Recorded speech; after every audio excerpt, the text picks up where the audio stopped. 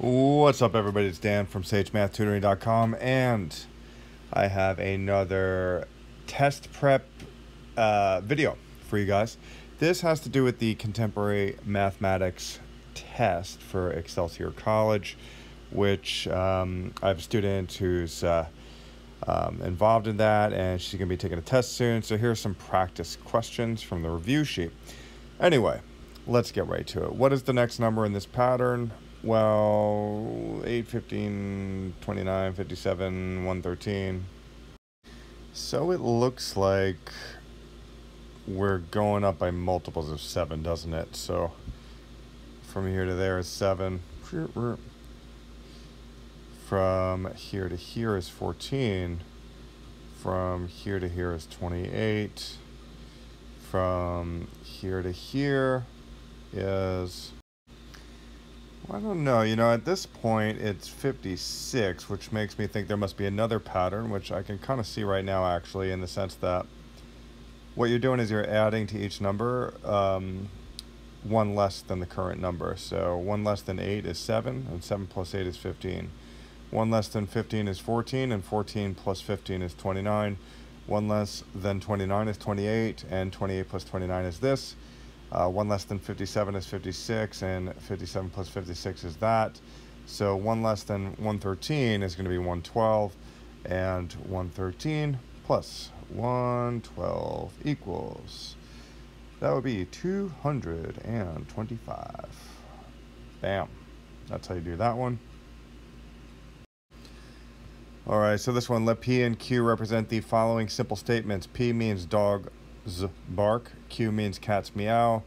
Which of the correspond which corresponds to the symbolic statement? Okay, so my student should know at home, pardon me, that uh, this little squiggly line means not P. The um, V means or. All right. Now, if it was an upside down V, then that would mean and. But this V means or. So really what we're saying is not P or Q. All right, now since P means dogs bark, Q means cats meow, then basically means uh, dogs don't bark or cats meow. All right, so that's this one. Boom. Not too bad. All right. In one game, a basketball team took 95 shots. The team made 12 of its 15 free throw attempts worth one point each. 30 out of the 68 two point shot attempts. 5 out of 12 three point shot attempts. Which piece of information is unnecessary in determining the number of points the team scored? Well, if we want to know, you know, which piece of information is unnecessary in determining the number of points the team scored, apparently we are really paying attention to the number of points the team scored. And it's definitely the case that we really don't need to know how many attempts were made, right? We really don't know how many attempts were made. We need to know how many um, points were scored, you know, or baskets were made, we could say, right? We need to know this stuff. And of course, we need to know what kind of shot it was. So, you know, how many points you get for each of these 12 uh, shots you know, made, that's 12 times 1, so that's 12 points. This would be 60 points, and this would be 15 points. But we don't really need to know the attempts, right? So let's see, the number of shots taken, that right here is unnecessary because we're mostly interested in how many shots were made, not taken. All right, so the number of three punch shots made. Okay, looks like we did that correctly. All right, moving on. So, if the U.S. population increases by one percentage point per year, and the population is currently at this, what will the population be in two years? Okay, so it increases by one percentage point, right? So that means that, you know, if you have a population the next year, you're going to take 1% of that population, and that's going to be added on top of um, you know, next year's population.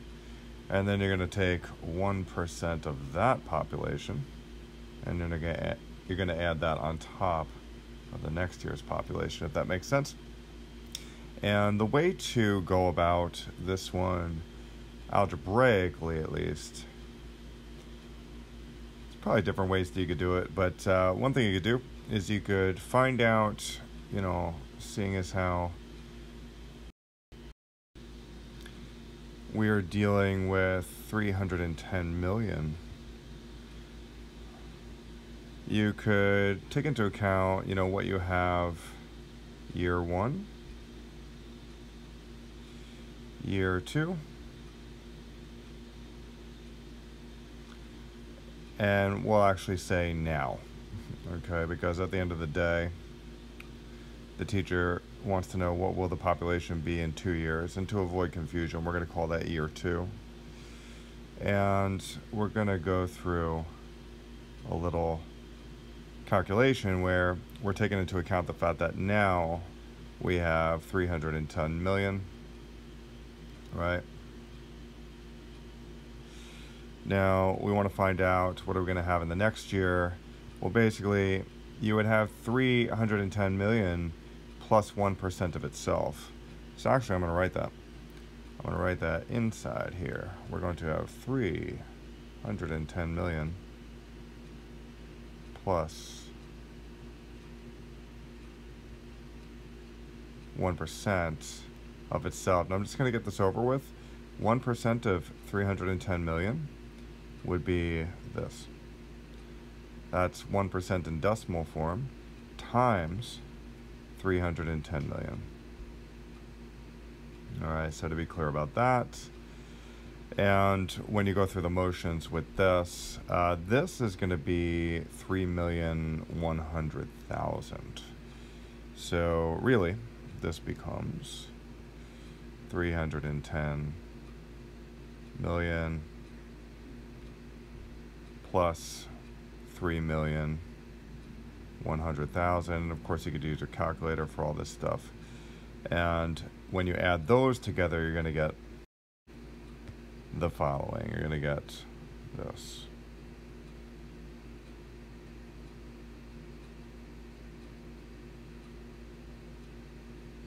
You're going to get 313,100,000.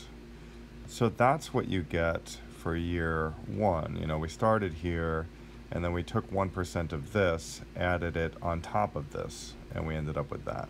All right. I'm going to draw these little brackets around here, parentheses, so we can really understand that this is what we end up with after year one. So we're going to to do the same process with this, where we take 1% of this and then add it on top of this. So on the next section, I'm going to write that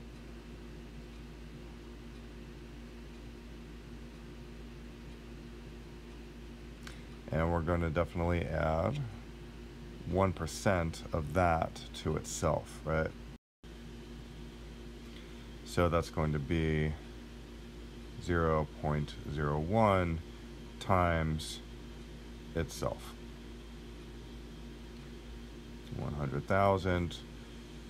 And uh, there's a more succinct way of going about this, but I think this is a good way uh, to reveal the mechanics, in a sense, of what's happening here. Where, uh, again, we're starting with what we had in year one, you know, what's this? And then we're going to add 1% of itself on top of it. So on the next line, we could be very clear about what 1% of 313,100,000 is.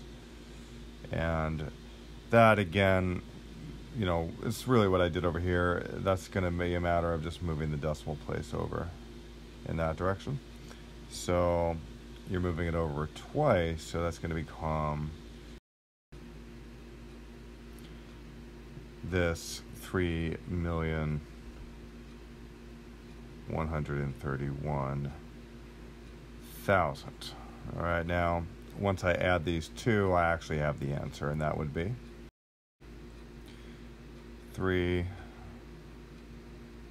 one, six, two, three,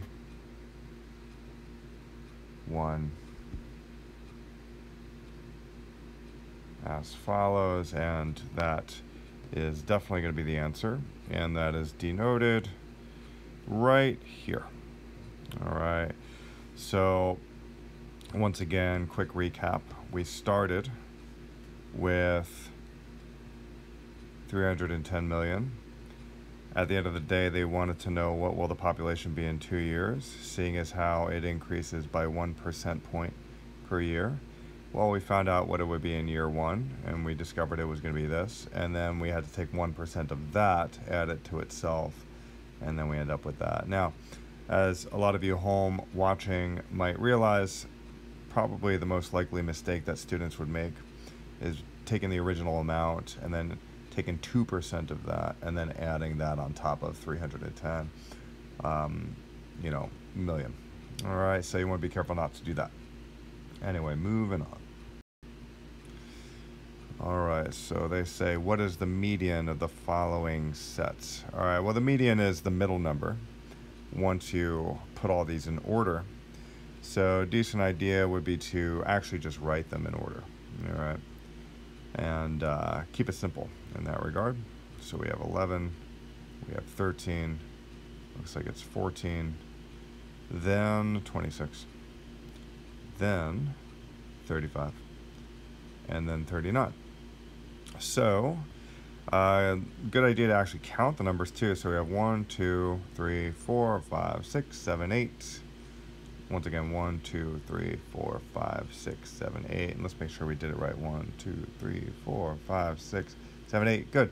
Okay, so it's an even amount of numbers. So you can sort of take into account these four, take into account these four, with the knowledge that the answer is going to be the average of the two middle terms, okay? So if you want to find the median and it so happens that you have an even amount of terms, you just find the average of the two middle terms. How do you find the average? Well, uh, that would just be a matter of adding 13 plus 14 and then divided by 2, and that would give you 13.5. All right. So for my student at home, just remember if it's an even amount of numbers, take the average of the middle two. And I say, you know what, why don't we contrast that with a scenario where you don't have an even amount of numbers. For example, if these were the numbers that they gave you, then you would uh, literally take the middle one because you have five numbers. That's an odd amount of numbers. And if you want the median, you literally focus on the middle one. All right, so I think that should probably be clear to my student.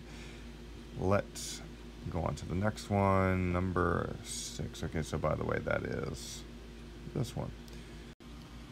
All right, so number six says consider the following array of scores on a standardized test. One thing I noticed right away is that these scores are written in ascending order, which is very nice of them. We had to rewrite this in ascending order, but they were nice enough to write all of these already for us in ascending order. And That's actually important because it looks like it's a percentile problem. It says the 15 percentile is given by which score. Okay, so if you want to find the percentile, uh, you have to usually uh, sort the data from smallest to largest. And like I just said, They've already done that for us, and then you have to find what they refer to as the locator. And the locator is given by this equation.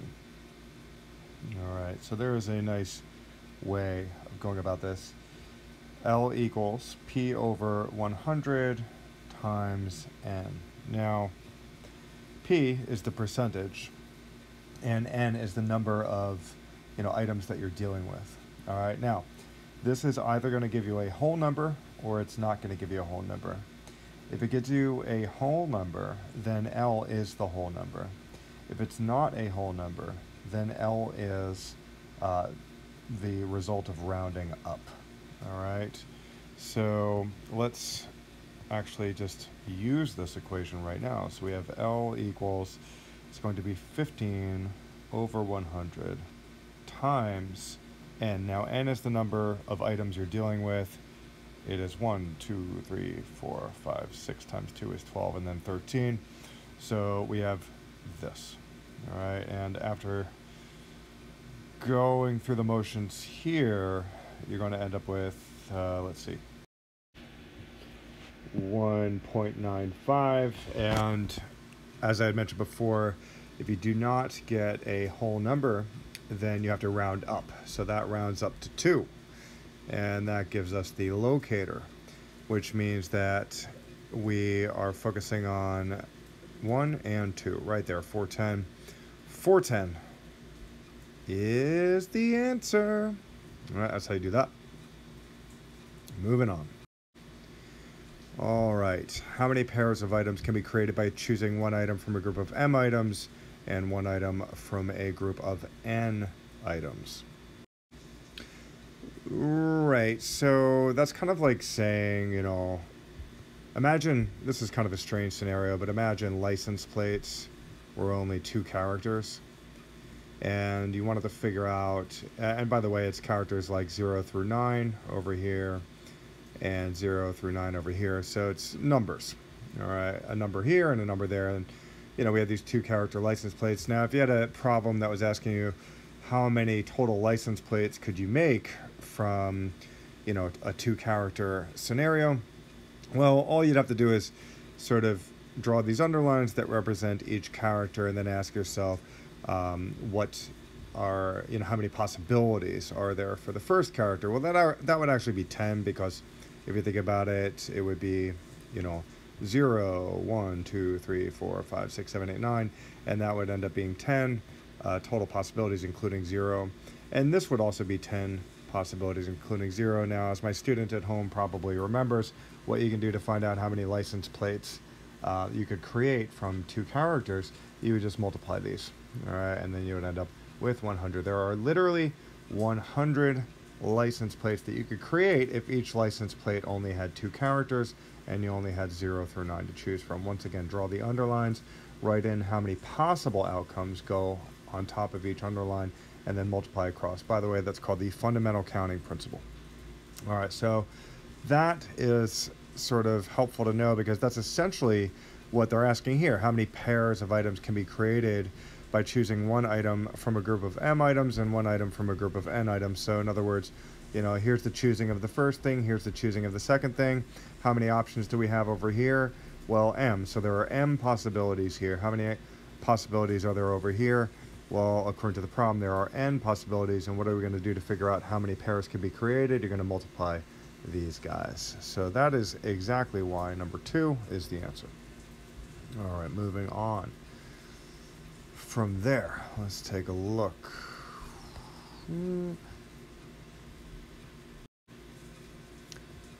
What is 200 factorial over 198 factorial? Okay, so my student knows by now that like 10 factorial, that's equal to 10 times 9 times 8 times 7 times 6 times 5, blah, blah, blah, blah, all the way to, you know, times 2 times 1. Now we keep going. Uh, now, the test is being a bit tricky because it's giving you these big numbers, 200 factorial and 198 factorial. And the good news is there will be a nice way of canceling stuff. All right, so it's 200 factorial all over 198 factorial. Now, we all know that 200 factorial would be 200 times 199 times 198 times 197 right, etc., etc., etc. And 198 factorial would really be 198 times 197, etc., etc. And as some of you at home probably notice, this is the good news item the fact that these will all cancel each other out, right? Uh, another way of writing it, to be honest, that might be sort of helpful is to just recognize that 200 factorial, I mean, that's really, you know, 200 times 199 times literally 198 factorial, right? Because what is 198 factorial? Well, it is all this stuff, right? 198 factorial is all of this stuff. So, you know, one way of thinking about it also is that 200 factorial over 198 factorial really equals 200 times 199 times 198 factorial. And that's all over what? 198 factorial. And that cancels with that in the exact same way that this would all cancel with that. So what we are left with, and we'll just focus here, what we are left with is this lovely, oh, that's a little messy looking, but that's okay, we're going to leave it. What we're left with there is 200 times 199 as a result of focusing on this because everything else canceled out and that is going to give you 39,800 so that is going to give you this. All right and that is most definitely represented in the answer choice right there. Okay so moving on. What is the probability that of two people selected at random, at least one was born on a Friday? Well, I think it's important to understand that probability is really the desired outcome over the possible outcome. It is often the case that it's more useful to figure out what the possible uh, outcomes are before you move on to the desired outcomes. So, in other words, what's the sample space? In other words, what are the possible, you know, pairings that could happen if you choose two people? And one way to think about it is, you know, you're going to have maybe the first person born on Monday, second person born on Tuesday. Um, we could also say first person born on Monday, second person born on Monday, first person born on Monday, second person born on Wednesday. This is a way of going about it, you know, and you could like literally list all of the combinations.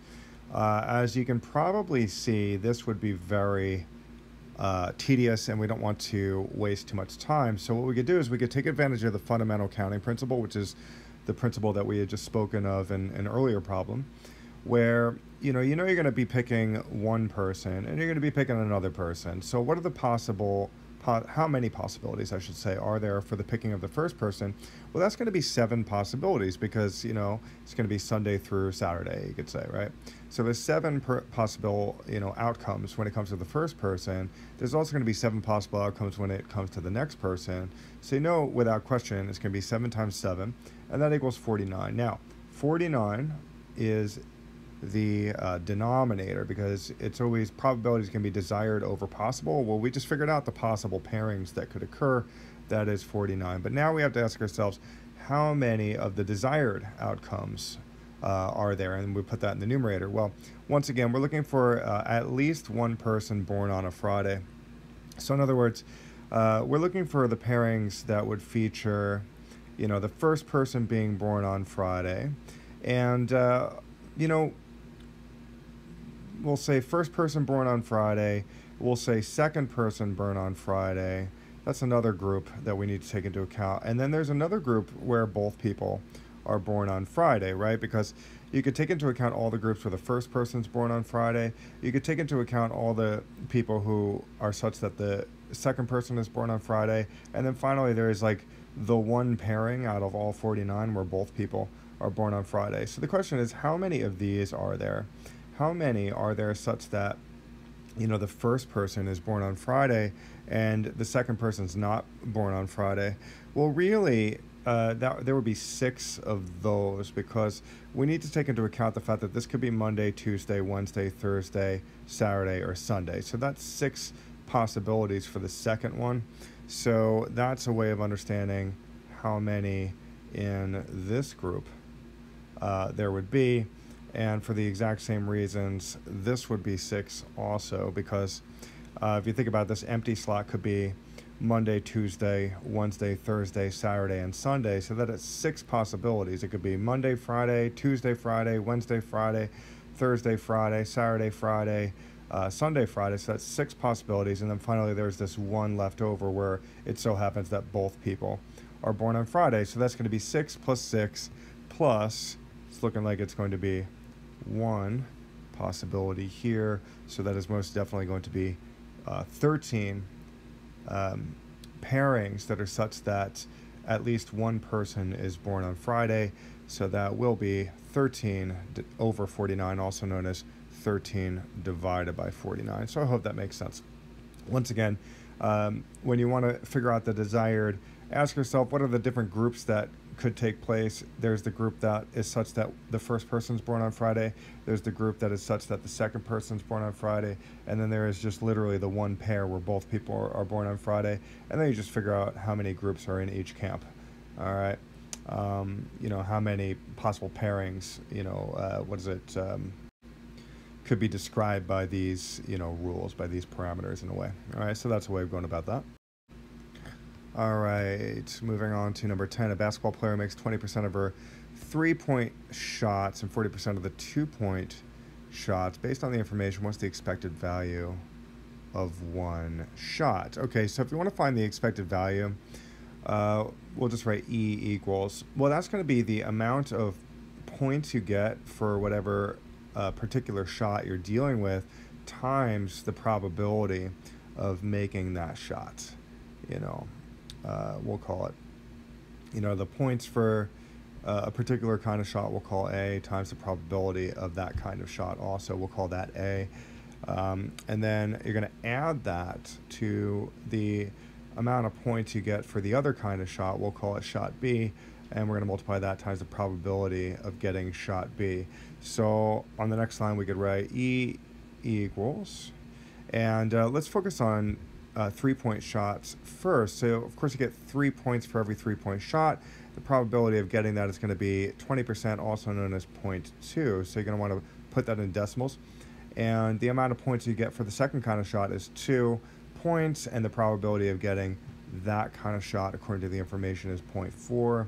So, that will be, you know, 0.6 plus 0.8 also known as 1.4 and that would be the answer which is right here 1.4 now what it, this basically means is even though it's literally impossible to get 1.4 points on a shot in basketball you know because there's either two point shots or one point shots or three point shots because um, I think it's one point for the free throws if I'm not mistaken uh, it's literally impossible to get 1.4 points on one shot. But at the end of the day if you um, you know take into account 20% chance of getting a three point shot 40% chance of getting a two point shot in the long run um, this basketball player averages out to earning 1.4 points per shot okay in the long run all right? The average score the average points this basketball player makes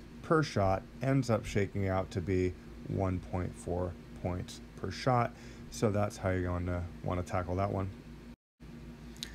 All right, looking at number 11. Four people are voting for the type of beverage to be served at a picnic. The choices are those which could be among the valid preference ballots for this vote. Okay, so one thing worth noticing is that it says select two that apply. So we know that there's going to be two answers. Let's analyze one at a time. So, uh, also worth noting is that there's four people, which means there should be four columns.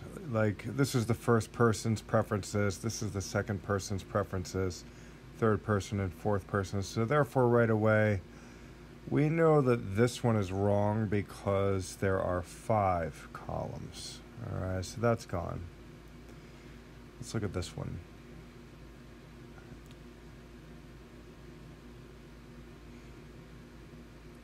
So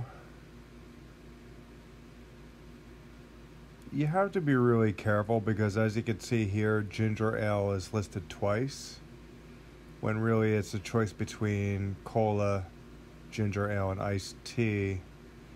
So that's gone because the idea is to list those three beverages according to your preference and whoever the last voter is uh, did not do it correctly. Okay, so as you can see, there's four columns, and it looks like all three drinks are represented. So this one would work.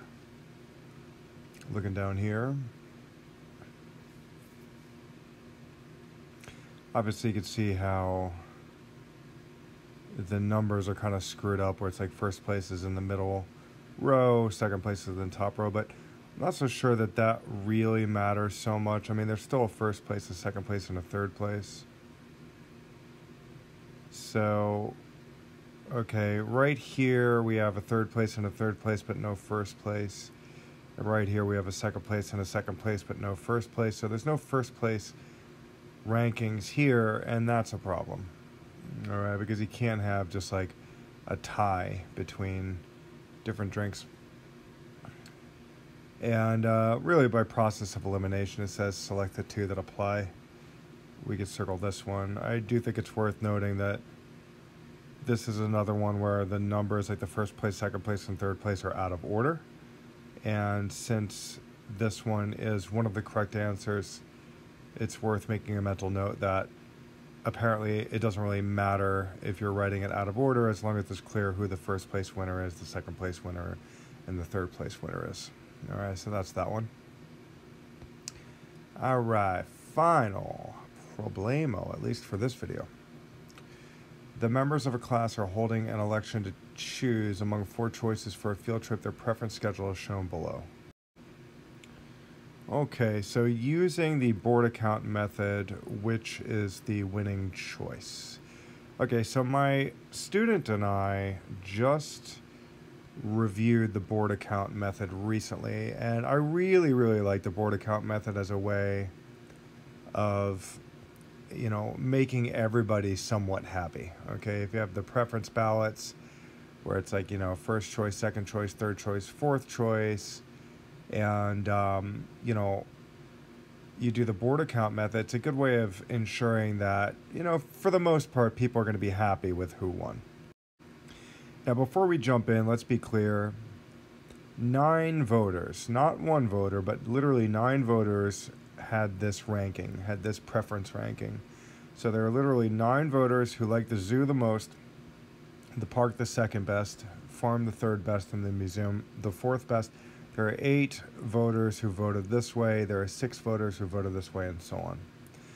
Now, when you do the Borda count method, um, it's a good idea to start sort of start from the bottom up in the sense that you want to associate points with these different rankings. So, for example, you could even actually extend this a little bit and again, assigning points for the ranking and start from the bottom and always assign just one point. Because basically, if, like, for example, you know, the museum got fourth place, well, since it's fourth place, you really shouldn't give it that many points. You know, he only gets one point, or the museum only gets one point in that case. Uh, two points for third choice, three points for second choice and four points for first choice. All right, so in other words, we are rewarding the things that got first choice, okay, by giving it four points. And what you want to do then is you want to compare the candidates. You want to find out how many uh, points each candidate got so what I'm actually going to do right now is just write zoo colon because we're going to analyze it. Park colon because we're going to analyze it. Farm and museum.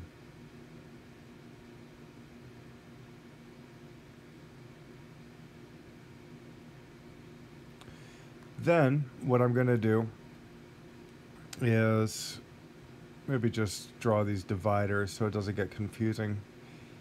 And um, maybe even do this too, actually. So the colon, whatever. Now I know that we're going to want to sort of analyze first place winnings, second place winnings, third place winnings, and fourth place winnings. And I know from experience that there is going to be a parenthesis associated with each of these. This is going to be clear as we go, I think. just setting it up in a relatively organized fashion so that it can be that much more systematic when I actually finish this problem. And again, I know I'm being somewhat vague, but I think you're going to understand in a moment how this works. And this is really the beauty of the Borda count. Now, I'm only going to analyze the points. First, I'm going to write points first, and then the amount of voters next. So, um, first point, or first place winners get four points. So that's going to be four, four, four, four. Second place winners get three points, so that's going to be three, three, three, three. Third place winners get two points, so that's going to be two, two, two, two. And fourth place winners get one point, so that's going to be one, one, one, one. I also know it's going to be multiplication inside the parentheses, so I'm just going to write all that.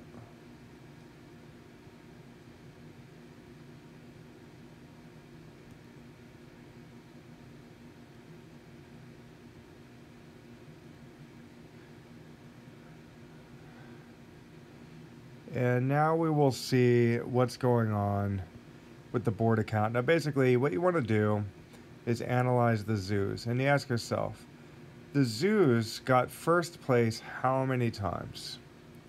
Well, nine times, according to this cell, right? There's no other zoos up here. The zoo got first choice nine times. So the number nine goes right here. How many times did the zoo get second place? Well, let's look at this row. Three times. The zoo got second place three times, so that's going to be a three. How many times did the zoo get third place? Well, let's look in the third place row. The zoo got third place eight times, so we're going to write eight right there. How many times did the zoo get fourth place?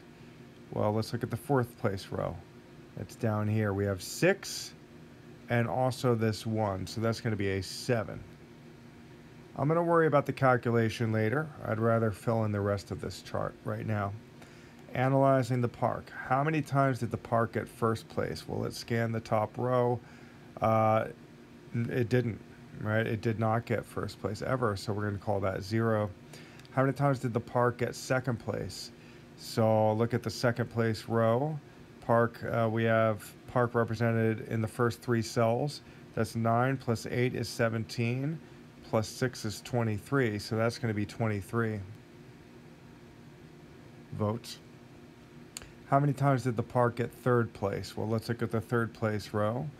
Uh, the park is right here and right here. It Looks like four voters voted for the park as a third place winner. How many times did the park get fourth place? We'll look at the fourth place row. The park is not represented there at all, so that's going to be a zero. Let's analyze the farm. How many times did the farm get first place? The farm got first place here and here. That's 3 plus 1 is 4, so that's going to be a 4. How many times did the farm get second place? That's the second row. No farm represented in the second row, therefore that's going to be a 0. How many times did the farm get third place? That's the third row. The farm is right here and the farm is right here. That's going to be 9 plus 6 is 15. So that is 15 right there. And how many times did the farm get fourth place? Well, that's the fourth row. The farm is only here. That's eight times. So that's going to be an eight right there.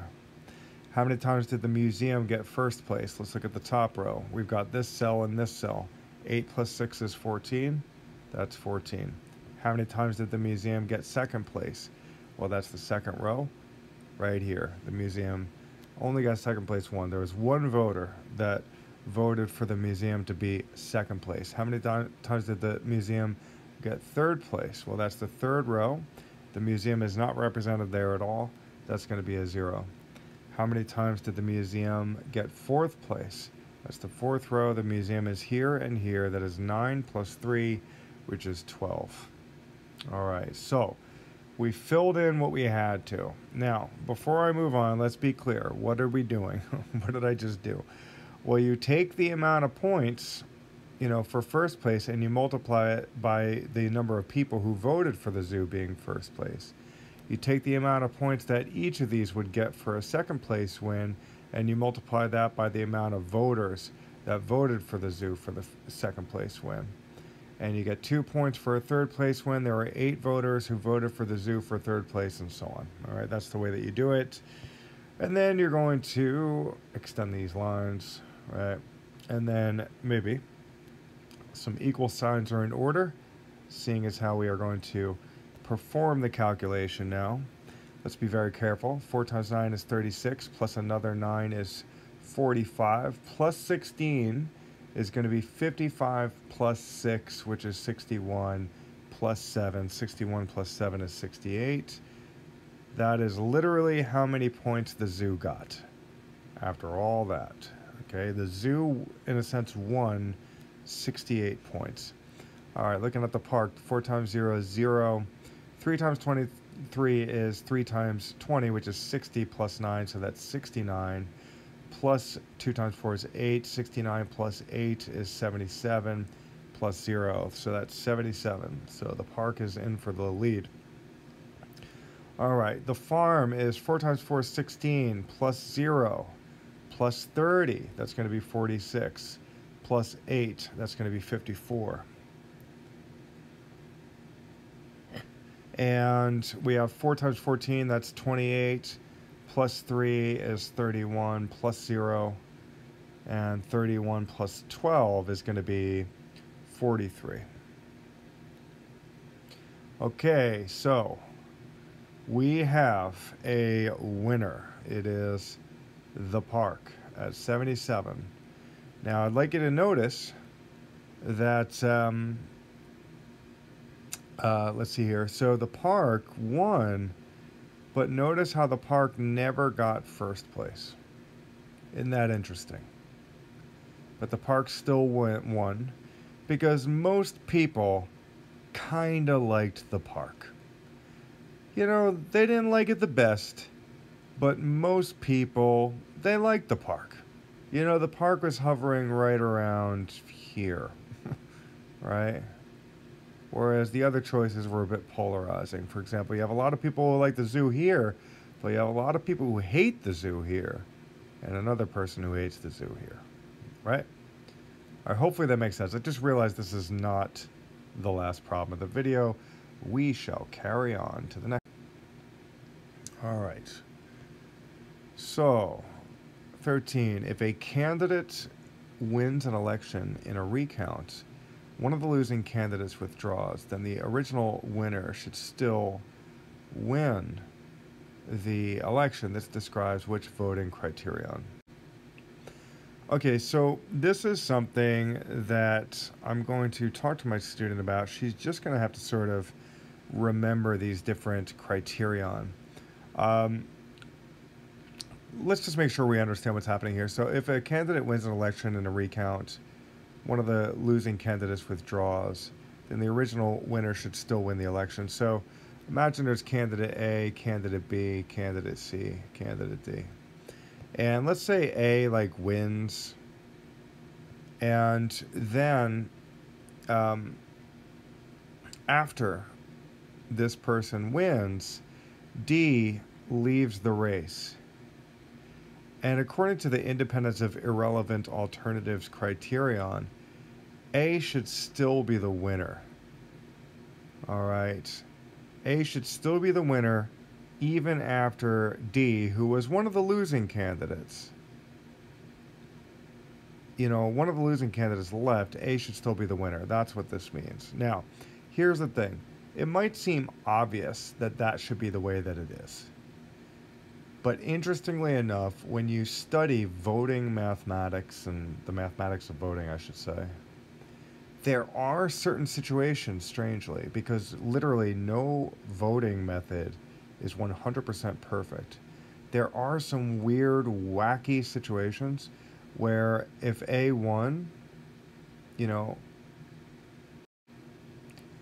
and then at, during a recount, D, you know, leaves, occasionally there are weird situations where that would strangely transfer the wind to, let's say, C or something.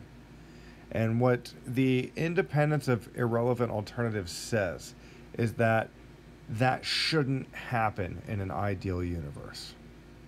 Okay, in a utopian ideal universe, we don't like it when that happens. Okay, that's essentially what this says. All right, I think this whole concept could, you know, have some more elaboration. Maybe that'd be helpful. But it seems like this question really just kind of uh, is testing your ability to generally understand what this generally means. So I'm not going to get into the details at this point. Maybe in another video I will. All right. Anyway, that's 13. Moving on. Okay. Which method of apportionment might produce the Alabama paradox? So, when you learn about apportionment, one of the first things you learn is Hamilton's method. And Hamilton's method could lead to the Alabama paradox. Now, again, I feel like that might be better for uh, another video if we're going to get into the details of that. I'll give you a brief explanation that, um, let's say there's a country called country, and there are three states in the country. All right. And let's also say that the country, you know, has a government and it's got a Congress, and there are 200 seats in the Congress. And um, country A has like a large population, or state A has a large population, state B has a medium, and state C has a small population. And what we realize is that after apportioning these 200 seats so that each of these states can be represented, uh, we end up with um, a certain apportionment. And let's say we use the Hamilton's method, which is beyond the scope of this video. Perhaps in the next video I could get into it. Um, let's say that C ends up with 50 seats we could say B ends up with 60 and then A ends up with 90 seats at the end of the day after applying the Hamilton's method.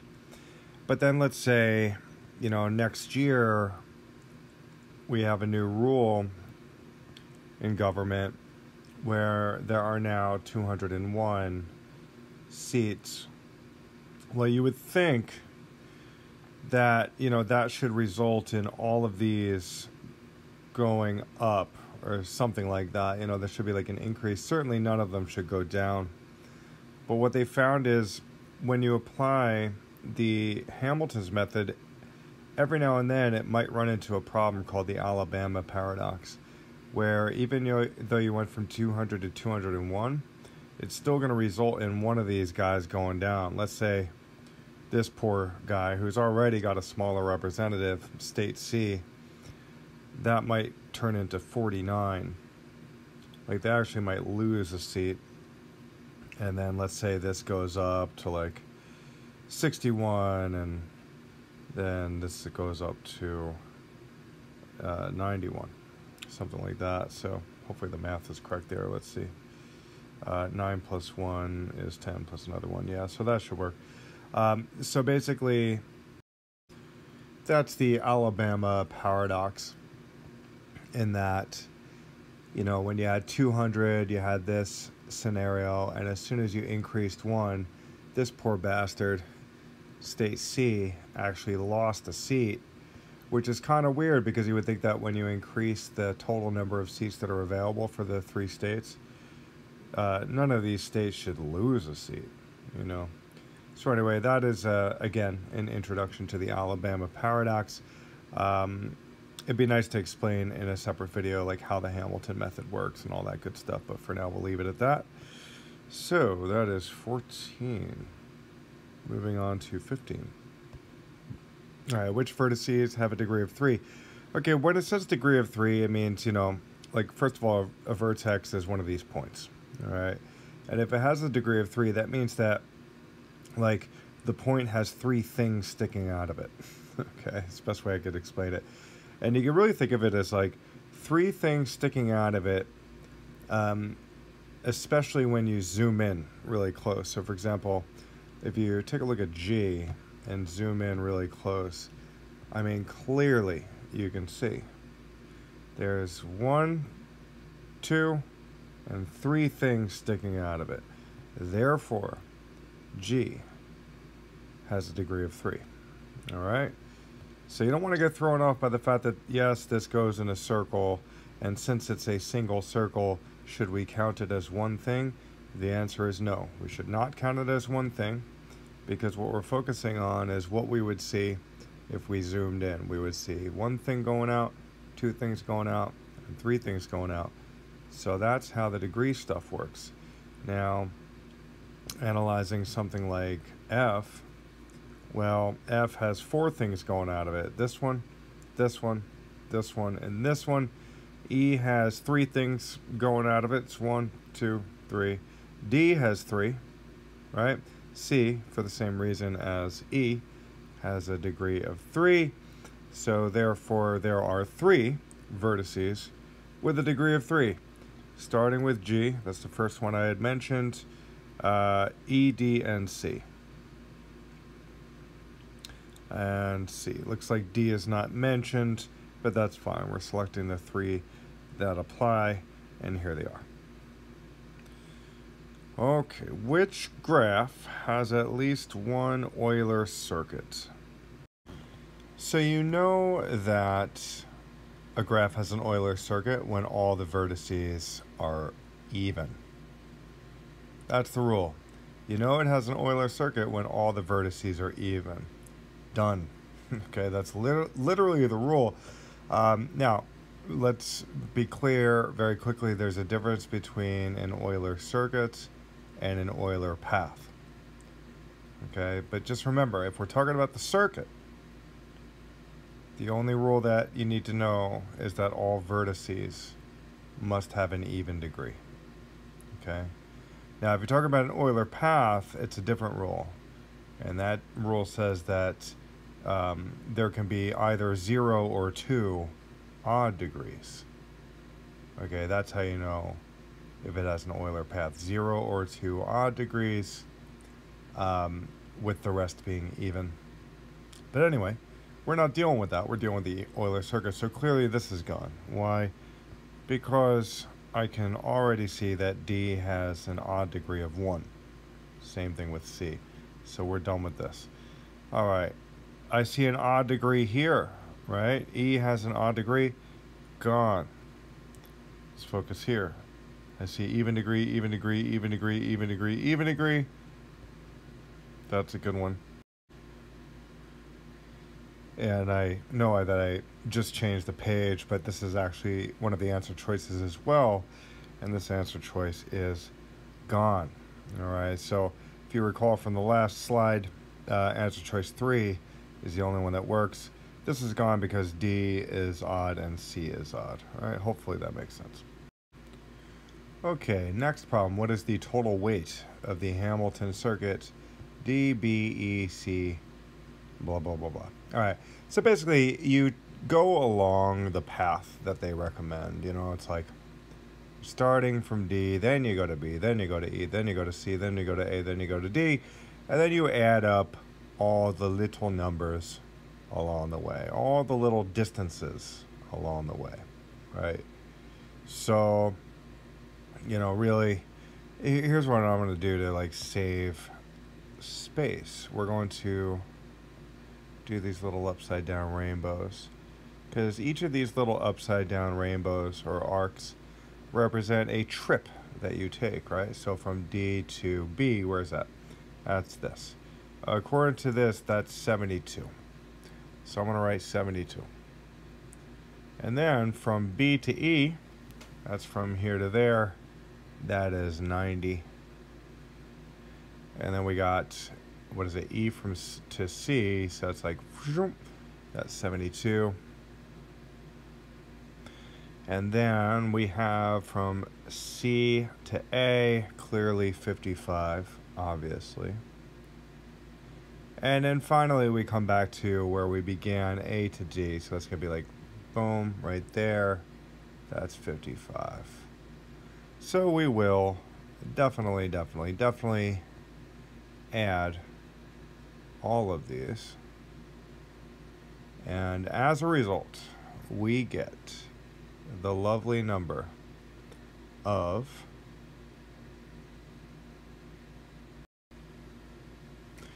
lovely number of 344 right there. Boom. 344 when you add it all up. Okay so moving on to the next problem. The chart below shows the distances between four cities A, B, C, and D. Uh, using the nearest neighbor method, I'm going to underline that. Nearest neighbor method, starting at A, starting at A, that's important. What's the total distance, that's what we're trying to find, for the Hamilton circuit obtained? Okay, so we start at A, so we start here, and we'll focus on this column, and we're going to use the nearest neighbor method. So, first of all, Hamilton circuit, that means you're going to hit every city. There's four cities called A, B, C, and D, and we have to hit every single city once. Okay? And since it's a circuit, we have to end up back at A. All right? We start at A, we hit every city once, exactly once, and then we swing back to A. So we want to know if you do that using the nearest neighbor method, what's the total distance? So the nearest neighbor method basically means that you're going to go to the closest city from where you are until you're sort of forced to do something else. Okay? You're going to do the closest city from where you are until you are, in a sense, forced to do something else. And that forced to do something else part is something that will become clear as we go. Nonetheless, let's start at A because that's the first city we're going to. Now, where are we going to go? Well, it depends on who's the closest city. So if we're here, apparently the closest city is C. That's only three miles away. In fact, I'm going to write that right now. So now we're at C. So here we are at C. What's the closest city from C? Well, clearly A. It's only three miles away, but you know we've we've already been to A, and according to the Hamilton circuit, we have to hit every city exactly once, so we can't go back to A right now. We have to go to a different city. What's the closest city other than A? Well, that would be D. That is seven miles away, so we're going to go to D. Here's us going to D. That's seven miles away. Now we're at D. Now here's the thing. From D, there's only one city we haven't been to, and that would be B. So we have to go to B. We are forced to go to B. It doesn't even matter who's closest, who's not closest. We have to go to B. Now, it's only a coincidence that B happens to be closest. All right, so we're going to go to B. Here's us going to B right now. And how far away is that? Well, according to the chart, that is six miles away. So now we're at B. Now, at this point, we've been to every city, so now it's time to go back home. It's time to go back to A. So from B, we're going to go to A. Apparently, that's 12 miles away. And um, here's us swinging back around, going back to A, and we are recognizing that that is 12 miles. So how far did we travel? Well, all you have to do is add all the distances up and then you are done. So that's going to be 3 plus 7 is 10, plus 6 is 16, plus 12 is 28. That is the answer, my friends. That's how you do it. Hamilton circuit. The Hamilton means that you have to hit every city once. The circuit part means that you have to end up back where you started.